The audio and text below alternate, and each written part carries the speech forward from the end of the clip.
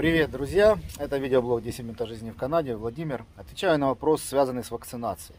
Многие люди интересуются, что делать, если мой ковидный сертификат уже истек по времени. А, в некоторых странах срок действия вакцин полгода, в некоторых год. А, так вот, в Канаде нет даже такого понятия, как срок действия вашей вакцины.